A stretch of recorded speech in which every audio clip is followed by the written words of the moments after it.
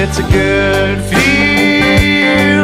to know that you are mine, that you are mine, and it's a good.